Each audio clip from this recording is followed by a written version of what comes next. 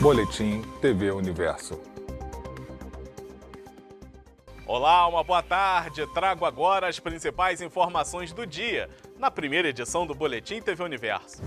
O governador do Rio de Janeiro, Cláudio Castro, conseguiu a reeleição com quase 60% dos votos válidos, 30 pontos à frente do segundo colocado.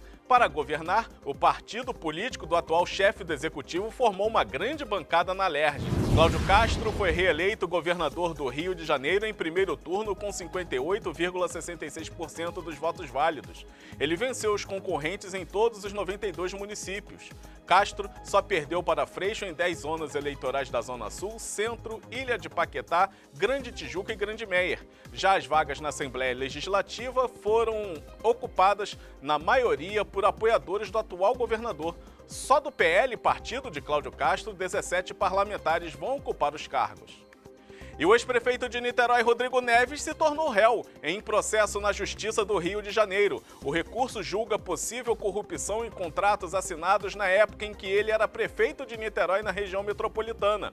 O Ministério Público Federal afirma que ele direcionou licitações e fraudou editais com a ajuda de conselheiros do Tribunal de Contas do Estado. A decisão é da juíza Daniele Barbosa, Assunção da Primeira Vara Criminal de Niterói. O ex-prefeito Rodrigo Neves, que foi candidato ao governo do Rio de Janeiro, e outras oito pessoas são réus na justiça. Entre elas, Renato Pereira, que foi coordenador de campanha de Marcelo Freixo, que também foi candidato ao Palácio Guanabara, e o ex-presidente do Tribunal de Contas do Estado, Jonas Lopes.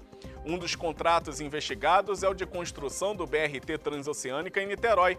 De acordo com o MPF, Rodrigo Neves se aproveitou da máquina pública para beneficiar as empresas Constran e Carioca, direcionando para elas o contrato com o município para implantação do BRT. Os procuradores afirmam que a Constan teve acesso privilegiado aos detalhes do projeto para a formação do orçamento da obra e influenciou na elaboração do edital para afastar eventuais concorrentes. Ainda segundo a denúncia, Rodrigo Neves se valeu da relação mantida com conselheiros do TCE para conseguir a aprovação do edital da Transoceânica no tribunal.